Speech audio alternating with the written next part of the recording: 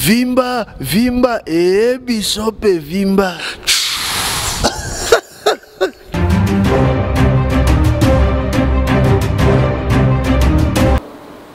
nazali parmi les rares hommes de dieu oyo abali plusieurs fois epuis nabangi te likambo kobala wana eh. nabali plusieurs fois ngai nazwi ngolu na vie na nga ya kozwa basi kitoko toutes les femmes baoyo babima na ngai bazalaki basi baoyo bazalaki basi ya chatoma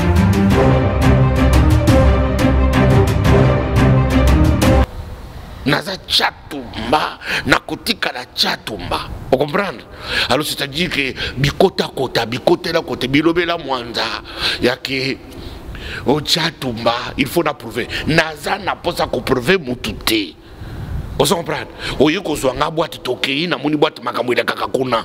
pusika mon age ici je n'ai rien à prouver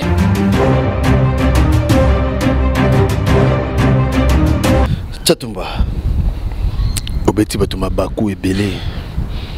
vimba vi, ee eh, mosusu eloko soki nini yango chatumba mm. osali biloko wana mpona nini ozali na drink ya nkamu na noir ozali na drink ya bawiski ako baba mpe yo bayaka jack, jack danger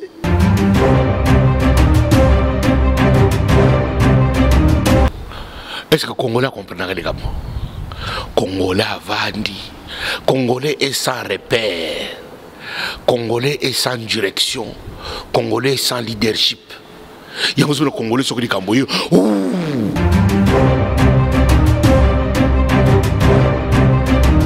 eza nazwi ndobo natie na kati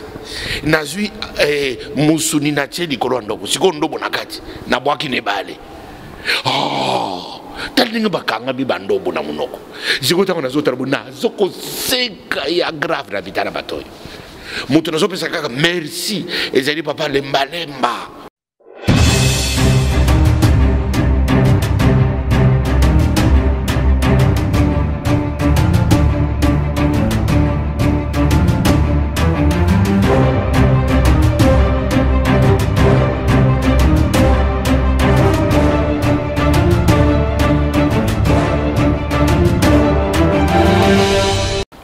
Bienvenue dans tolobelavie.com, euh, votre site d'information. Euh, merci na bino nyonso vraiment bozopesa biso confiance euh, je crois bozomona déjà moto na yambi merci na bacritique mpe baremarque na bino yango esalaki à chaque fois toamélioraka petit à petit mosala tosala tosala mosala oka mpona toinformaka bino merci na sims biso na biso na route de vienne wana lyon merci encore na papi euh, leroy formule ya suka carte illimité un grand merci encore na ekipe mobimba ya tolobela vie eh, nayobaka biso tosaka mosala tosala mosala toza na chatumba le charismatique eh, boyebi biso bana ngaba oyo papi mwana ngaba papi gene mwana ngaba ntango bana mwana ngaba mbala mwa boyebi namonaka nani like makanaki ya na nga bosco mbokoso papa ya mombele charismatique nini kitoko makasi tolobela vimba vimba ee biso mpe vimba ah chatos ah, oui. boni ça va kitoko ya grave kitoko ya kimia ya grave yango oye na fief na nga puiske ntango eza lokola ngando na kati ebale eh, directement namonaka nde table chura mboma nakomi kobenga carte illimité oh, lokola ah. papi lewa aza likolo bazolinga bakoma me te chura mboma champion de champion il est beau il est fort il est éduqué il est instruit il est équilibré il est intelligent et puis surtout mon coach tala ndenge abebisi nzoto oyo tala nzoto ebebi masala oh le mbatable tshura mboma vanda na yo oganya masolo mpo bakoma bambula ebele bagénération future chatumba obeti bato mabaku ebele vimba vi ee eh, mosusu eloko soki nini yango chatumba mm. osali biloko wana mpo na nini ozali na dring ya nkamo na noir ozali na dring ya bawiski akoba bape yo bayaka jack danger osali bo mponi est ce que congolais akomprenaka likambo congolais avandi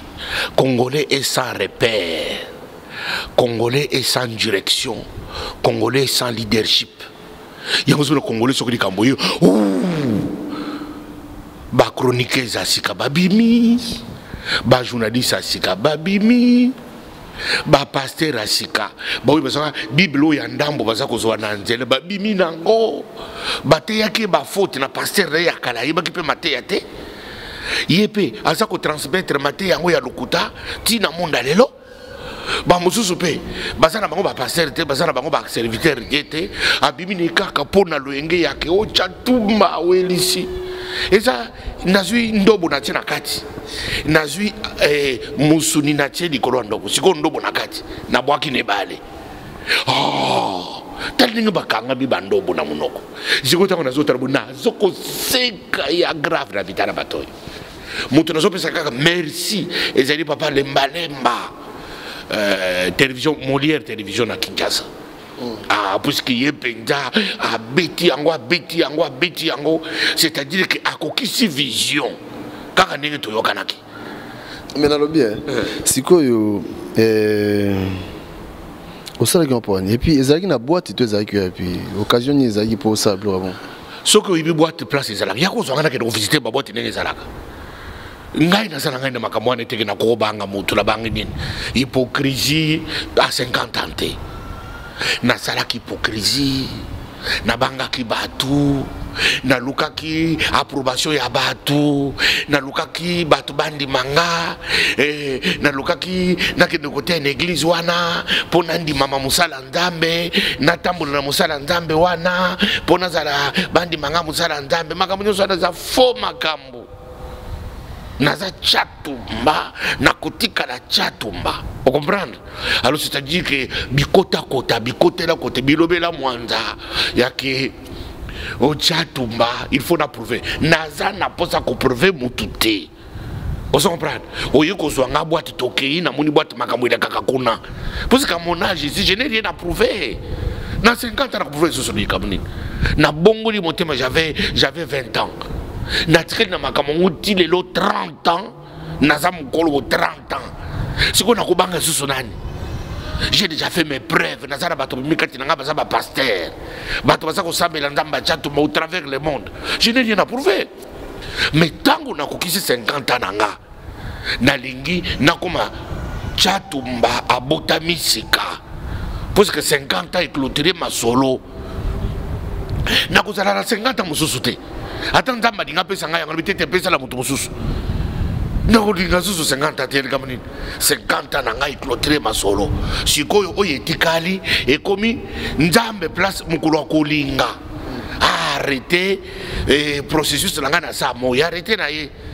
transpiraki danger ya jour nayebi so nabeti yango dada 50 na ngai ta abeti naziki na mposa ke bato bazalaki na kati puiske na kati ezaka 60 personnes na kati 60 personnes trier à la volée moto nyonso akokoya na anniversaire ya chatumba te ezaki ba press people nde ezalaki na kati batolobela vie ce n'est pas n'importe quelle presse ezalaki na bacongo france ezalaki n'importe quelle presse te ezalaki euh, euh, original euh, club original eza n'importe quelle presse te bengo namoni bapresse ya mike mike ya tolobela mwanza tobela makayabu babandi kotya biloko oyo bayebi ata ndenge nini ezalaki te pour mpo balobela bango alors eh, na profite mpe napesi dicaprio euh, euh, fali ipupa merci mpona azwaki image wana atie na instagram na ye instagram ya fali ipupa eza na 30 million ya, ya ami te okomprendre atie na instagram na ye place ondo obeta eloko yango esololi gabon esololi cote d'ivoire esololi cameroun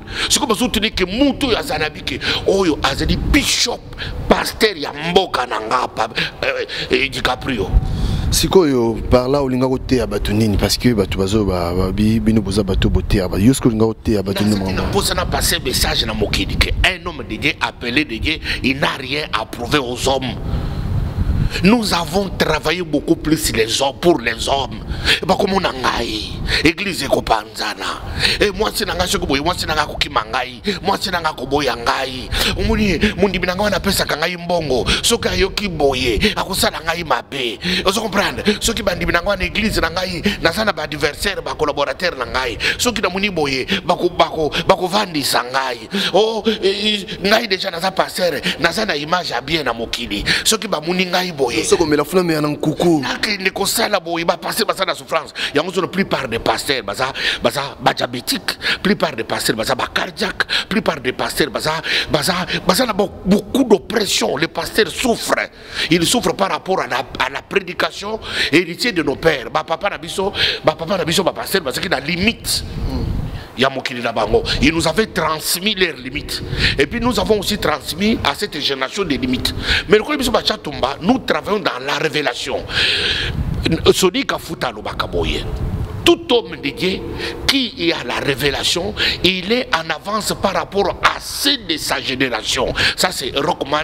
Et Sonic Kafuta a dit tout homme de Dieu qui travaille dans la révélation, il est en avance par rapport à ses de sa génération. Vous comprenez Ngai na monique 50 ans, je dois faire un break.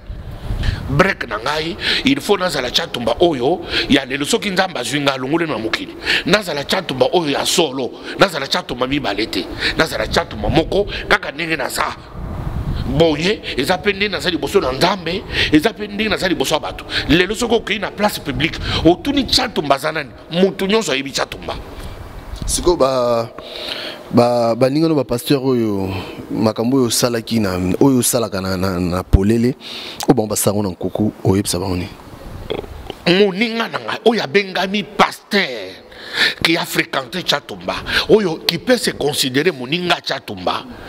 a kokidi kobete libaku, à comprendre que Chatumba,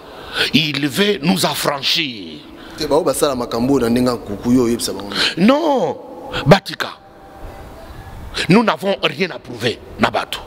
batika kosalela bato nayebisi bapaster boye moninga na ngai paster otambola na chatumba ofrekanta chatumba arretons ya kosalela bato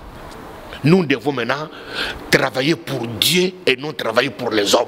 Pour travailler pour Dieu, il ne faut pas ils la tombeau blanchi. ozala libanda baorne pembe ntango ozoleka papa révérend et pourtant na kati pourri moi j'ai refusé que nakufa lelo nakende lifelo après avoir prêché aux autres comme paul dit non je préfère que lelo soki yesu aye azwi nga nakende kovanda pembeni na ye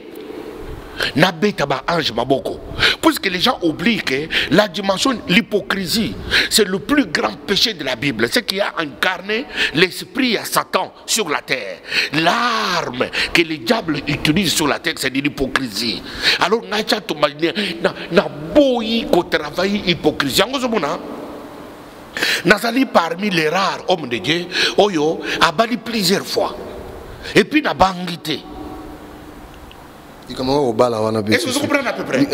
nabandi plusieurs fois ngai nazwi ngolu na vie na nga ya kozwa basi kitoko toutes les femmes baoyo babima na ngai bazalaki basi baoyo bazalaki basi ya chatumba officiel ce sont de belles femmes des femmes intelligentes des femmes instruites des femmes de bonne éducation mais ngai lokola nazalaki na dose ya hypocrisie esali ke mabala wana evandi te faute ezalaki na nga puisque ezalaki na dose eleve ya hypocrisie lokola bana basi wana bazalaki bana nzambe bakokaki kovanda kokontinue kozala na pasteur mosala nzambe me hypocrite te yango nde mabala yango evandi te bana basi wana bakenda nakokondana ata moko te bitumba chatuma mingi eza secteur wana eh, ozo comprendre secteur wana okomprendre yango nde sikoyo nalingi nazala chatumba naturel nazala chatumba original oyo satana ntango azoya mpo akosa akoka komema ngai kote wana te akotaka kote wana nde yango nde ningaki nakangele porte na bidiable kozwa ngai yuma te mm. ozwi ngai yuma trop diable ozwi ngai yuma trop onyokoli ngai yuma omonisi ngai yuma yango zoni moto nyonso soki abibi kaka na mwa mwa video na ye chatuma nakobeta yo eh, chatuma alingaki ngai nga chato balingaka basi na nzela te oza grand dragueur nalingaka basi na nzela te ngai naza na eloko moko na nzoto na ngai oyo nzambe asali soki eloko yango evibre eza lokola ema ocomprendre ebendi alors ce n'est pas que yo mwana mwasi moko boye obimi ke chatumba chatumba c'est gentleman chatumba c'est un esprit okomprendre à peu près napesi prince mbote prince ah prince eh. prince afande prince afande prince afande l'homme intègre eh, napesi yo mbote bishop chatumba mm. eh, situation politique ya mboka na biso ozomona makambo makambo oyo ezokende ozomona yango ndenge nazolingana lobela ngo na dimension nabandi dabord awa ozomo na mboka oyo toza na problème na politique problème ya politique eza nini apareco ngwanda honore avait réussi à semer la peur ozo comprendre il a semé la peur na mitema bacongolais il a utilisé une milice baoyo soki kaka obimi milice wana eatake yo ebomi yo na ebandeli ya vie politique na yo milice wana mosala na yango soki kaka moto abimi bamilise yango baatake ye bayebisi balakisi bato ke aza étranger c'est comme ça que l'appareco a opéré mais au fil du temps politique wana ya appareco echoue ntango echouer eboti sikoyo badivision bato baevoli bato bakoli bato oyo nyonso bakendeki lokola biso tu moi j'ai soutenu apareco ozo comprendre mais au fil du temps naye komona ke ba, les restes des autres sont méchants kaka en dehors na bango nde baza bien bango nde baza na verite bango nde baza barésistant ya solo bango nde baza na politike ya solo bango nde balingi kongo ya solo le reste bato nyonso kuna balingi kongo te naye komona kone oyo ekomi politike te oyo ekomi division oyo ekomi tribalisme oyo ekomi régionalisme oyo ekomi eh, diabolisation ya bato alors nabandi kotala makambo na mosika lelo tala badivision nde eboti na diaspora diaspora ndenge nayebisaki na mikro na yo nazoloba bango susu lelo naboma komba lelo bato nyonso bakomi kopesa ngai raison ke naboma komba ntango nayebisaki banga komba ntango bakombata batelemaki plus de 50 kombata na tribunal ya bobini bazali koloba à la face du monde ke chato mazwi mwasi ya bato à la face du monde et puis bango nyonso baza koloba yebi que c'est du mensonge batelemi na tribunal na bobini balobi que chatumba aza pédophile bayebi que c'est du mensonge mais c'est que plus de 50 mais ils ont voulu soutenir un menteur soutenir un mensonge pour nuire à chatumba et puis nasali nini lokola ngai naza moto spirituel nazwi mensonge na bango na travaille yango na monde spirituel nazongiseli bango poise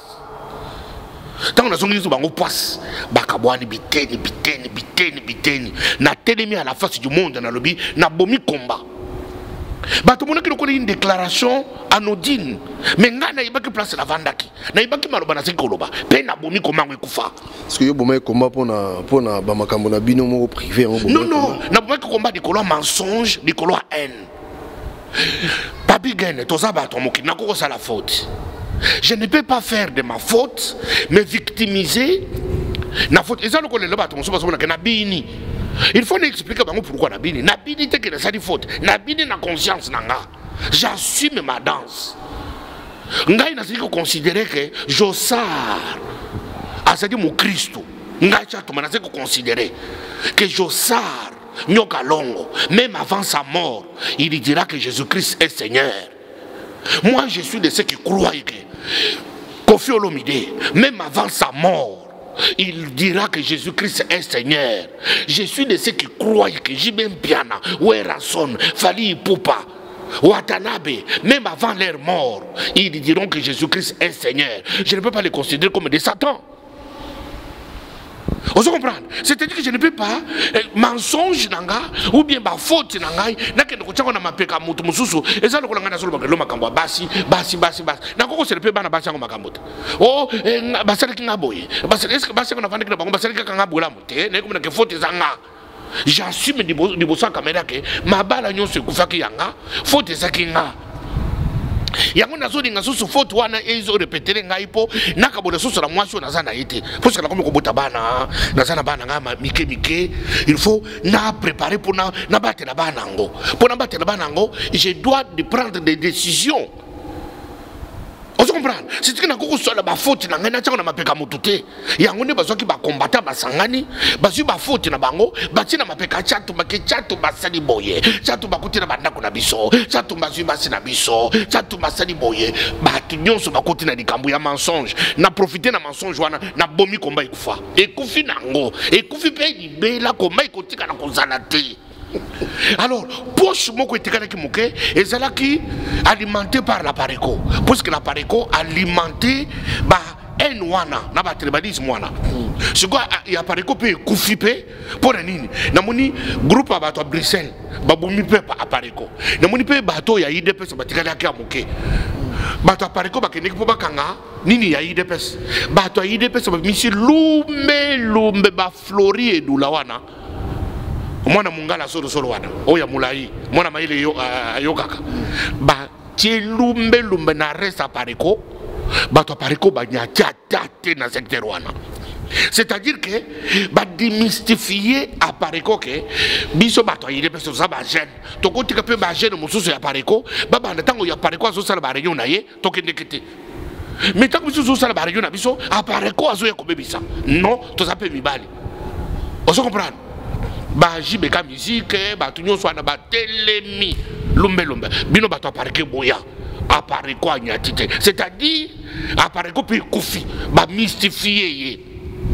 va démystifier. Vous comprenez Alors, c'est-à-dire que tout cet ensemble, il y a division. Joseph Kabila profite. La division, wana nyonso puisque apareko akomi na tendance akosoutenir makambo ya mwana nsemi mwana nsemi aye kosalaka mwana nsemi aza na kabila baimplike directement monsieur honore ngwanda kasaka na kabila c'est pour que baaffaire na bango nyonso ekoti na ebale na minute oyo na bareko na bakombata batekelaki ya mike mike bango nyonso bakoti na ebale bu bakangi sak babwaki na bango na mai ozolanda badivision nyonso wana entretenu eprofite na joseph kabila yango nazali koloba boye na mikro na yo bato bayokanga bato bazokanisa pourquoi naza kokende kosoutenir vital kamere c'est pour des raisons comme ça nazo soutenir vitala kamere naza kameriste mpe natikali kamere nalingi kamere natikali kameriste epuis kamere aleki bapolitien congolais nyonso na mayele mpo na nini kamere na pas utilise la démagogie kamere na pas incrimine un, un opposant congolais kamere akoseli opposant congolais moko makambo te mais de tous les opposants congolais il n'y a pas un congolais politicien informé plus informé que kamere aza te puisque amoni ntango bazaki idps ba bruno chibala ba bruno mavungu bakosela kamere makambo en public ba valentin mobake bakosili vitale kamere makambo en public pour nuire naye komona baolenga nkoi olenga nkoi atelema akosili kamere makambo ya grave en public kamere na pas réagi namoni bafayulu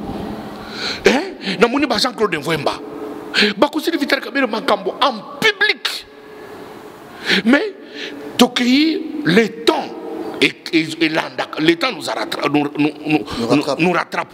lelo temps toyei komona nsima ntango lelo kamere atikali kaka kamere nazomona lelo bato ya majorité bakomi kofinga kamere bato ya majorité bazofinga kamere baotu baopposant wana groupe bao bazaki lobaka biso nde bato bato ya rassemblement biso nde opposition ya solo baza kofinga kamere ba bakomi koloba maloba moko langage moko na majorité contre kamere me na nyonso wana kamere azozongisela motu te kamere azoconsidere bato nyonso wana comme toujours des opposants politiques kamere azoloba ke opposant aza nani opposant azali oyo azali kofaire partir na structure ya institution ya leta te kamere se limite par là epuis moto na moto azosala mosala na ye peuple ye moko etalaka ye nani azali nani me baopposant wana bazwaki baatitude bafayulu bajean claude vwemba bazwaki baatitude ya bacombattant bakomi kozwa ba discours ya ba combattant bakomi koloba makambo ya ba combattant na congo pour nuire na vital kamere mais lelo au fil du temps bango nyonso badindi bakoti na mai bakomi na discours moko kamere aza kaka kamere kamere afunda motu te yango ozomona kamere aza na facilité ya kotravaille kocollabore avec tout homme politique puisi kamere afundi motu eza lokola nga chatumba moi je collabore avec des combattants je collabore avec des faux combattants je collabore avec apareco je collabore avec faux apareco je collabore avec bato nyonso puiske eza na moto moko te oyo ngai chatoma natelemasi oyo na place publique na atteste que aza gauche aza droite na considere que moto nyonso aza combattant akoki kosala bafaute mais aza kobundela nde mboka na ye mais bato batelema koprouve noir sur blanc que kamere aza faux kamere aza traitre lelo kamere kamere akei na tara tara na kote ya uturi na kisangani kuna il y avait éboulement esalemi bato bakufi plus de 200 personnes bakufi na uturi kamera ake na tara ake kopesa don ya 1000 tol akomi okende na nzela batindi délégation te kinshasa ale akende te bakangi ye kamera akende te na 1000 tolo na ye pour aller assister na population congolaise oyo plus de 200 morts plus de 200 morts congolais il faut ozala insensible kamere akei avec ses propres moyens batelemeli ye akende te ozoloba biloko nyonso wana lelo ba jean ba, ba, ba, ba ewanga balubaya batikaki kamere o oh, kamere aza moto ya kabila bawanganaki ke bazwaki mbongo ya moise katumbi te batiki kamere te mpo na makambo mbongo te bakosi kaka pour nuire à un innocent qui fait sa politique avec la tête kamere aza lokola nga j'agis avec ma tête je pose des actes réfléchis mais je pars en contre courant je suis en avance par rapport ya bato ya génération na nga ntango nakopose kaka baakte wana moto nyonso abebi catumba faux pasteur catumba eh, sikoyo na kamwe lelo ntango nabini danse kaka bakomi koloba paster akosala boye te me bango baza kolobaka naza faux paster hmm. batika ngai na konta kifo paster na ngai nazosala makambo na kifo paster na ngai sikoyo bakuti yango susu mpo na nini chatumba faux pasteur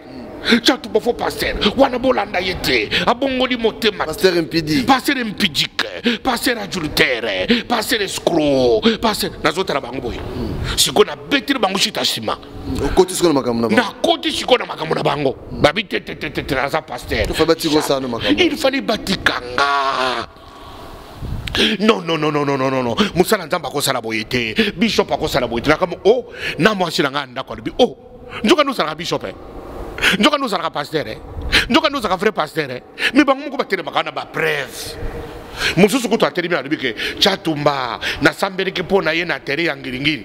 natikala komona ye te ni d'adam ni de eve natikala koyeba nzela na ye te ni na butu ni na moi ye nde moto ayeba ngai ngai natikala koyeba ye te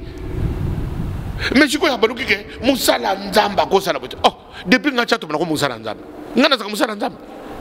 Ah, c'est pour vous dire que les congolais bayebi makambo baza koluka te bana bakosaka bino ngai congolais nakotika na kokosa yo te yango ozomona nalandi kamere parce kamere n'a pas utilisé la politique de mensonge kamere n'a pas utilisé la politique de calomnie kamere n'a pas utilisé la politique de haine oyo honore ngwanda autilize lelo honore ngwanda kati na ye bato bakomi baloba boye bafinga ngwanda gauche bafinga ngwanda droite tosa pourquoi tosala boye eh,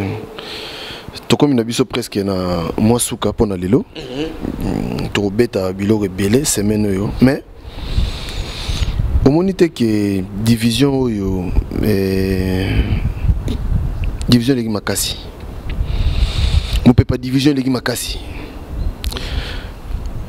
tokosala ndeni mpo na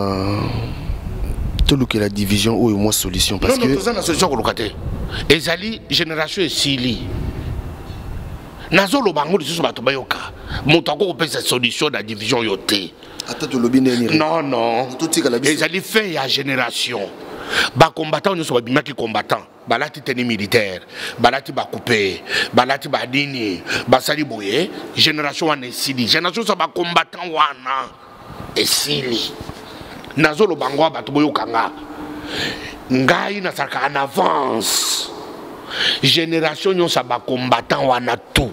esidi génération mosusu ezobotama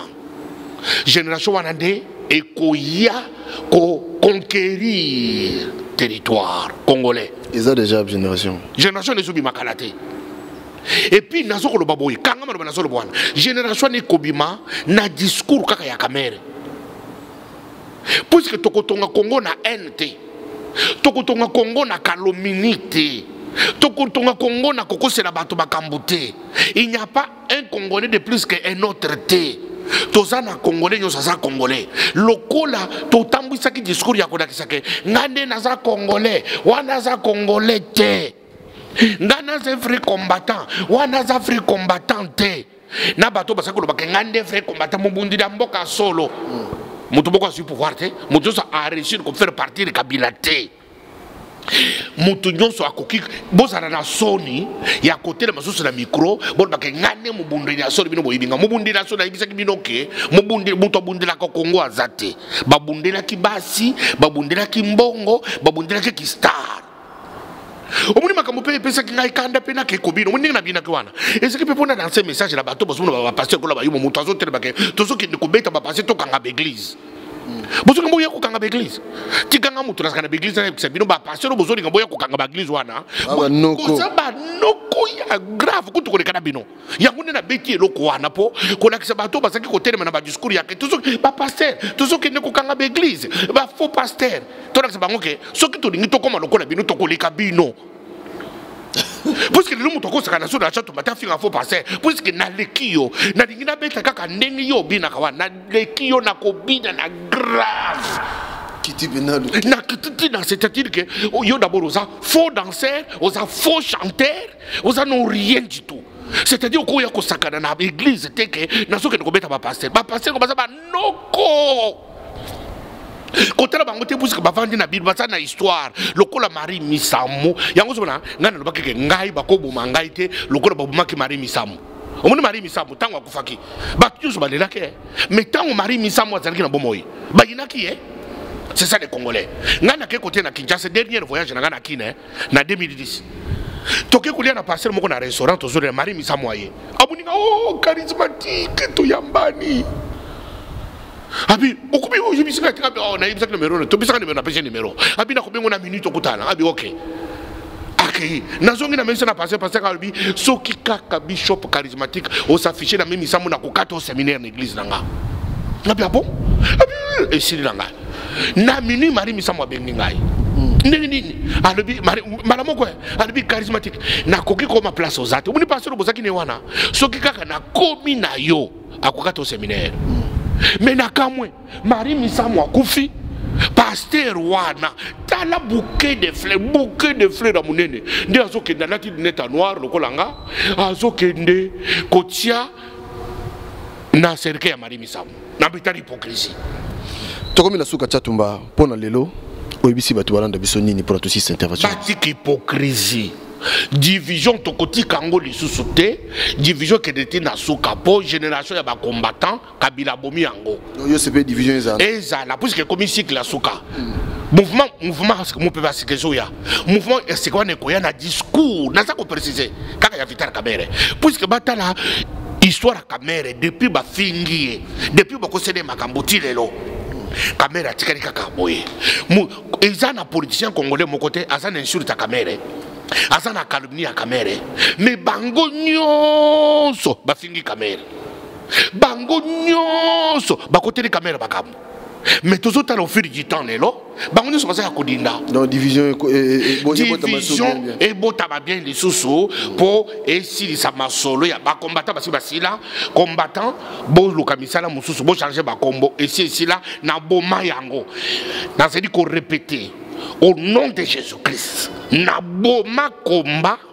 esila nango nakanga yango nazwa bakadena ya bacombattant nakenda kotia na place oyo euh, princesse diana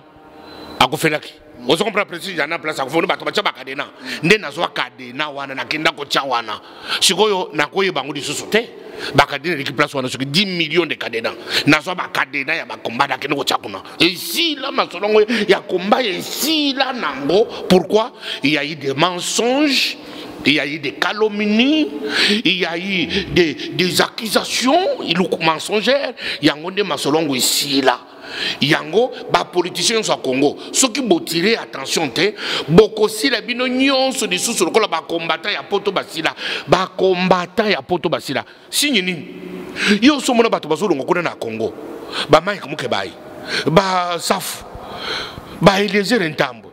bakomi koya awa o oh, toye koreveille résistance c'est il y a un problème comment bango baza kuna bakomi komona ke résistance na poto ezaka susu te mais ntango biso tozoyebisa bango ke résistance ekufa a ah, bazoboya mais bato ya libanda bakomi komona ke esila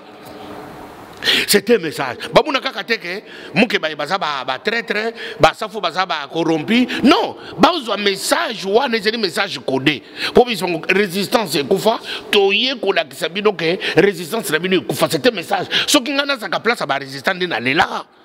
heureusement ngai nazali soutien inconditionnel ya vital kamer wakanyinginyi le king le king le cinquième futur président Il y a République démocratique du Congo. C'est celui qui fera remise, reprise avec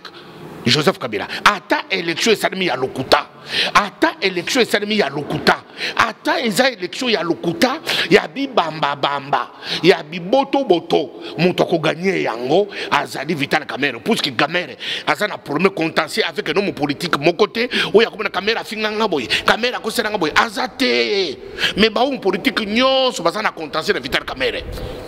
tosukisa chato ndenge moko na bishop chato bali charismatique na kati ya mikili naza na motu moko te awa pasteur people le pasteur people le gentleman l'homme internet il faut préciser puisque bato bazo combattre ngai na internet bayebi te ngai nakota na makambo internet par prophétie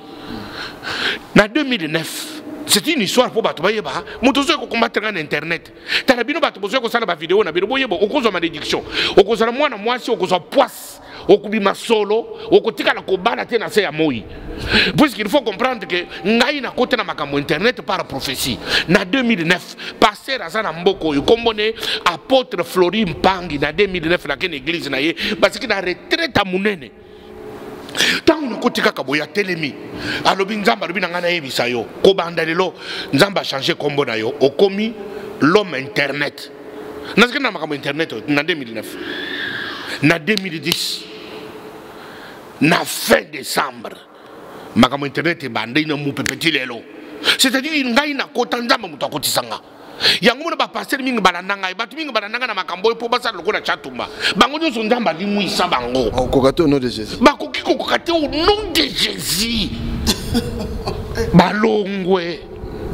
balimwa mposika bakotaki bikotela kotela me ngai eza prophesie ya apôtre floribert mpangi ya église arche de l'éternel na paris azali vivant